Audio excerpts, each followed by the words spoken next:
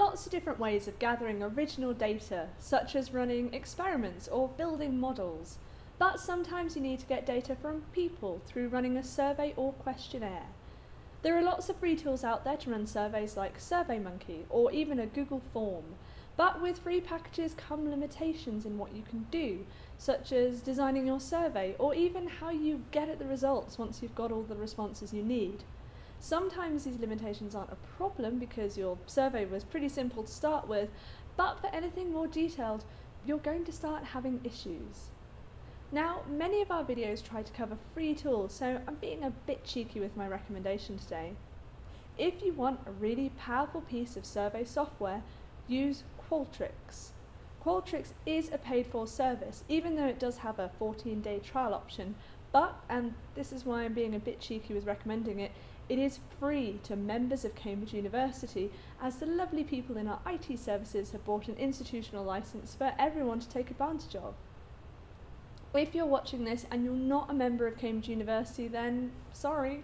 If you are a member of another organisation, maybe see if they can invest in a licence for you, as the package is extremely powerful and is used extensively by brands and companies around the world. When building surveys, Qualtrics gives you a whole range of options to choose from. For example, when deciding what kinds of questions to ask, you can pick simple stuff like multiple choice, or go for something more complicated like a heat map, or even go for something just a little bit different like a sliding scale that uses a smiley face to communicate an emotional response. When you've got your questions laid out, you can put in extra functions like logics so that if someone answers one question a certain way, they get a filtered selection of follow-up questions so you can get really specific answers. Or if they answer in a way that isn't helpful to you, you can ping them to the end of the survey, thereby saving both your time and theirs. This is especially useful if you just want to survey a certain group of people or certain levels of experience, as it gives you the chance to cut out any unhelpful responses early on from people who might not fit your criteria. Once you've designed and polished your survey, you can then send it out to people to take. Qualtrics gives you a handy link that you can then pop into emails or share on social media.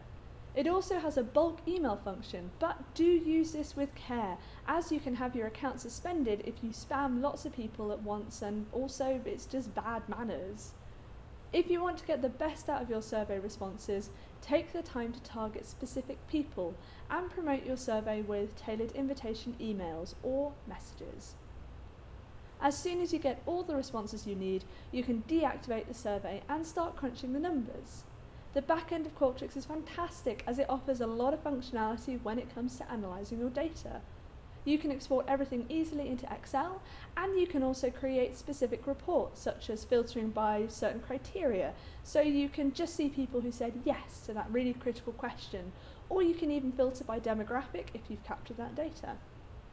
As well as exporting, Qualtrics lets you create graphs, tables and charts in an instant before you've had to export anything, which might save some time if you just want to get quick snapshots of your data before doing some deeper analysis. Of course, you don't have to do this all alone, as Qualtrics offers lots of collaboration options, so you can add people to your survey so they can help design it with you, or just offer a helping hand with crunching the numbers once the data comes in. You can use Qualtrics for pretty much anything, from market research to just trying to work out why people do things in the way that they do. Remember to keep to ethical guidelines, as well as storing any data you do get in a sensible place, especially if it contains personal data, as you will be bound by legislation such as the Data Protection Act. Unless you really need personal data, try making responses as anonymous as possible to save you from some extra headaches in the future. To register for Qualtrics as a Cambridge University member, get in touch with the University Information Services. There's a link below. And for everyone else, check out Qualtrics' website. There's also tons of guides and walkthroughs there to help get you started. So have fun surveying, and until next time, bye!